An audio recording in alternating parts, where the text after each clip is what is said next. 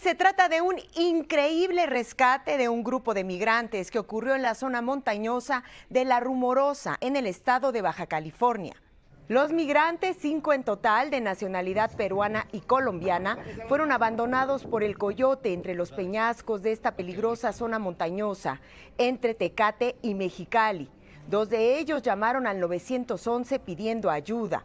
De las cinco personas que se localizaron en la zona del parque eólico, eh, duraron cerca de 14 horas eh, pues, en la búsqueda, ya que los detectaron eh, pues en, en poderlos hidratar, poderles dar de comer.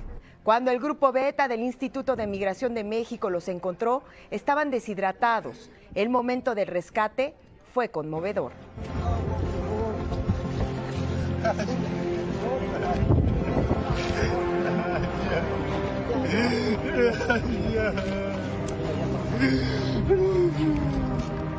Los migrantes habían pagado mil dólares al coyote que los abandonó. Entre los rescatados están Laura de 23 años, su esposo y su pequeño hijo de solo cuatro años. Era un niño de cuatro años eh, y pues su papá y su mamá fueron los que eh, iban con él, ¿no? Principalmente. Martín, esta familia ya se encuentra en Estados Unidos. Pudimos hablar con la madre, con Laura, y le tendremos todos los detalles de su testimonio en el noticiero de 6.30. Por ahora es la información. Regreso contigo.